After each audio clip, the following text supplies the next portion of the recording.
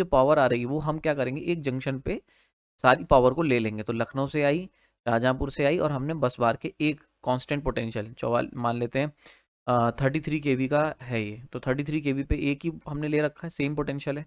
तो सारी की सारी जो पावर आ रही है, वो यहाँ पे आके करंट इस पर आ जाएगा। देन यहाँ से हम क्या करेंगे, हमें कहाँ भेजनी है? तो मान के चलते हमें बरेली भेजनी है। तो जितने भी इनकमिंग फीडर हैं, उनसे हमने पावर ली एक बस बार पे। एंड देन जो आउट गोइंग फीडर हैं, वो उसी बस बार से हमने आगे की तरफ़ फॉरवर्ड कर दी। तो एक कॉमन जंक्शन हो गया कि ट्रेन आएगी, जैसे ट्रेन आती ना तो वहाँ पे रुकेगी आके फिर वहाँ से जहाँ जाना है, वैसे ही ये हो गया।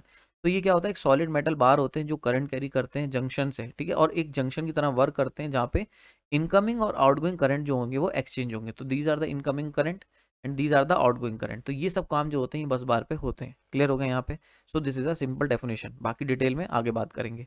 ठीक है नेक्स्ट यहाँ पे आ जाता है अर्थिंग स्विच तो इस तरीके का जब भी स्विच देखोगे, अभी पीछे आपने अगर सिंगल लाइन डायग्राम देखोगे तो बहुत सारे इस तरीके के स्विच यूज़ होते हैं. This is a very important part ठीक है? तो isolator circuit breaker and earthing switch इनके ऊपर एक मैंने सेपरेट बड़ा अच्छा लेक्चर तैयार कर लिया है. आने वाले समय में इस चैनल पर डालूँगा.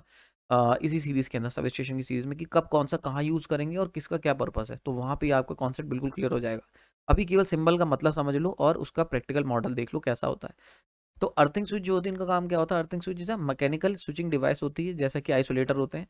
और ये क्या करते हैं, पर्टिकुलर पार्ट, सर्किट के पार्ट को प्रोटेक्ट करते हैं फ्रॉम रेसिडुअल चार्जेस। तो जैसा आइसोलेटर करता है, वैसा ही ये भी करते हैं। थोड़ा सा ये कह सकते हो कि आइसोलेटर के बाद हम लोग अर्थिंग स्विच को भी प्रेफर करते हैं कि मतलब अगर कोई चार्ज रह भी गया है तो उसको भी हम लोग अर्थिंग स्विच में कवर कर लेंगे। क्लियर हो रहा है यहाँ पे तो इसको अभी और डिटेल में हम लोग आगे वाले समय में डिस्कस करेंगे। समझ में आ रहा है? तो सर्किट ब्रेकर से हमने करंट को ब्रेक करा आइसोलेटर से आइसोलेट करा तो जो तुमने आइसोलेट करा है पार्ट उसमें भी तो कोई चार्ज रह सकता है तो उस चार्ज को भी न्यूट्रलाइज करने के लिए अर्थिंग स्विच का इस्तेमाल होता है, ठीक है? क्लियर हो गया यहाँ पे? तो एक हिंट दे दिया है मैंने, जैसे फॉर एग्ज़ाम्पल ये करंट जा रही थी, इस पर्टिकुलर सेक्शन में कोई दिक्कत है तो सबसे पहले सर्किट ब्रेकर करा तो सर्किट ब्रेकर से करंट खत्म कर दी देन हमने आइसोलेटर यहाँ से आइसोलेट कर दिया इस सेक्शन को, अब इस सेक्शन के अंदर हो सकता है कुछ चार्ज रह गए हों।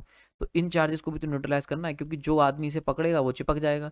तो इस चार्जेस को न्यूट्रलाइज करने के लिए हम लोग यहाँ पे एक अर्थिंग स्विच लगाएँगे, ताकि इस पर्टिकुलर सेगमेंट के भी चार्जेस को न्यूट्रलाइज करा सके। So this is the purpose of earthing switch की मतलब टोटल प्रोटेक्शन जिसे हम लोग कहते हैं, ठीक है?